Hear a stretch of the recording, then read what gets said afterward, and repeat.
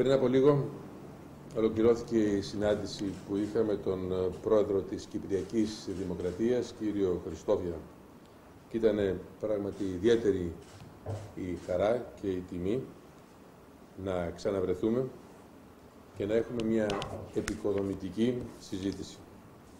Θα ήθελα να τον ευχαριστήσω εκ μέρους της ελληνικής κυβέρνησης για την ε, ουσιαστική και τεκμηριωμένη ενημέρωση που μου έκανε για την πορεία του Κυπριακού ζητήματος. Συζητήσαμε επίσης για τις ε, προτεραιότητες της Κυπριακής ε, Προεδρίας, τις εξελίξεις στην ευρύτερη περιοχή μας, στη Μέση Ανατολή, αλλά και βέβαια για τα ενεργειακά ζητήματα που αποτελούν προτεραιότητα των δύο χωρών.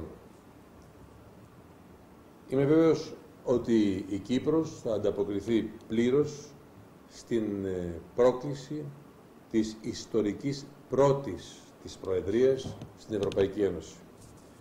Μία πρόκληση που είναι ακόμα μεγαλύτερη στην παρούσα συγκυρία της βαθιάς ύφεσης και της κρίσης χρέους που δοκιμάζει την Ευρώπη. Μετέφερα στον Πρόεδρο Χριστόφια τις θερμές ευχές του Προέδρου της Ελληνικής Δημοκρατίας, κυρίου Κάρολου Παπούλια, και βέβαια τους αδελφικούς χαιρετισμούς του Πρωθυπουργού της Ελλάδος, κυρίου Αντώνη Σαμαρά, επαναλαμβάνοντας και επισημένοντας την αποφασιστικότητα της νέας ελληνικής κυβέρνησης να βρίσκεται στο πλευρό των Κυπρίων και να στηρίζει την Κυπριακή κυβέρνηση. Στο σημείο αυτό θα ήθελα να τονίσω ότι είναι πράγματι λυπηρό ότι οι ενέργειες της Τουρκίας και του τουρκοκύπριου ηγέτη κ. Έρογλου δεν αφήνουν μεγάλα περιθώρια αισιοδοξία για την πρόοδο του Κυπριακού. Θέλω να πιστεύω ότι η Τουρκία θα αντιληφθεί ότι έχει συμφέρον να υπάρξει πρόοδος. Αυτό εξάλλου τόνισα και προς τον Τούρκο Υπουργό Εξωτερικών, κ. Αχμέτ Νταβούτογλου, με τον οποίο είχαμε μια σύντομη συνάντηση εργασίες στην Κωνσταντινούπολη, στο περιθώριο της διάσκεψης των χωρών της παραεψήνιας συνεργασίας. Αυτό απαιτεί τόσο η ευρωπαϊκή πορεία της γείτονος χώρας, όσο και η ανάγκη εμπέδωσης της σταθερότητας στην περιοχή μας.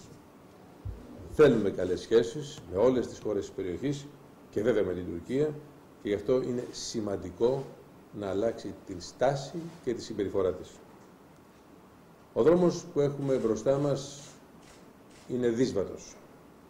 Θα πορευτούμε μαζί, επιδεικνύοντας σύνεση και αποφασιστικότητα με στόχο πάντα την επίτευξη μιας δίκαιης, λειτουργικής και βιώσιμης λύσης που θα απαλλάξει την Κύπρο από την παράνομη κατοχή και τον επικισμό προς όφελος όλων των κατοίκων του νησιού. Σας ευχαριστώ πολύ.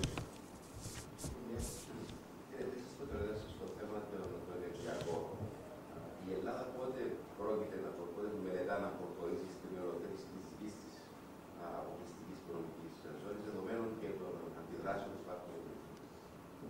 Η Ελλάδα μπορεί να ασκήσει το αναφέρετο δικαίωμά της ανα πάσα στιγμή.